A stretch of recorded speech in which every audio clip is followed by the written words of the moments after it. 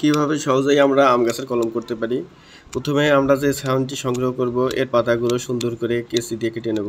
কখনো হাত দিয়ে ভাঙা যাবে না।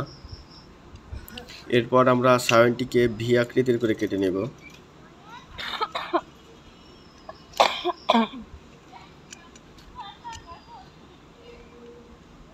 অবশ্যই এটা ধারালো ধারালো দিয়ে করতে হবে। ভুতা দিয়ে করলে এটা থেতলে যাওয়ার সম্ভাবনা থাকে।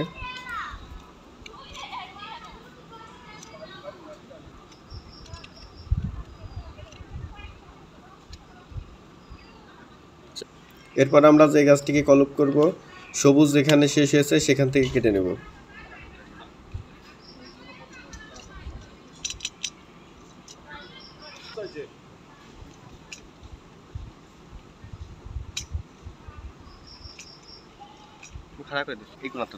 এরপর এই ডালটির সাইড থেকে এক ইঞ্চি পরিমাণ বা তার চেয়ে একটু বেশি করে কেটে নেব।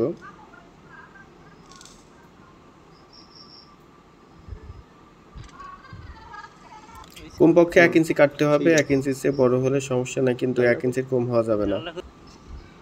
এরপর আমরা যে সায়নটিকে ভিয়াকৃতির করে কেটেছিলাম সেটি এই সাইড থেকে কাটার ভিতর সুন্দর করে বসিয়ে দেব। যদি দুই পাশ মিলানো যায় তাহলে ভালো যদি দুই পাশ না মিলানো যায় তাহলে এরকম এক সাইড চামড়ার সাথে মিল করে আমরা পলি দিয়ে এভাবে সুন্দর করে পেঁচিয়ে দেব।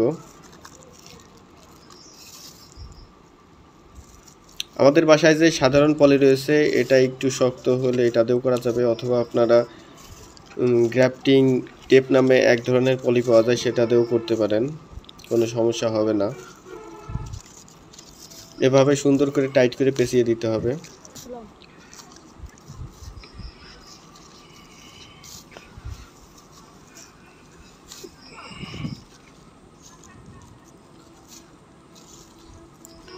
আমরা সায়নটিকেও পেঁচিয়ে দেব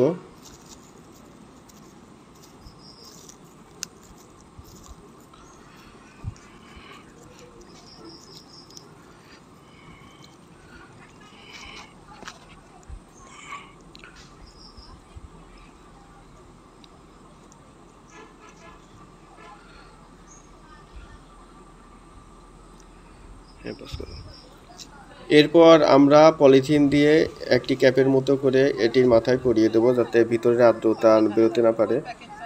এই ক্যাপ না দিলেও সমস্যা নেই, তবে ক্যাপটি দিলে হান্ড্রেড পারসেন্ট কলম হওয়ার সম্ভাবনা থাকে। তবে ক্যাপটি না দিলেও কলম হবে। ক্যাপটি দিলে হওয়ার সম্ভাবনা হান্ড্রেড পারসেন্ট, একটাও নষ্ট হবে না। এই কারণে ক্যাপটা দেওয়া। ক্যাপটা দিলে পারে ভিতরে আর্দ্রতা বের হতে পারে না।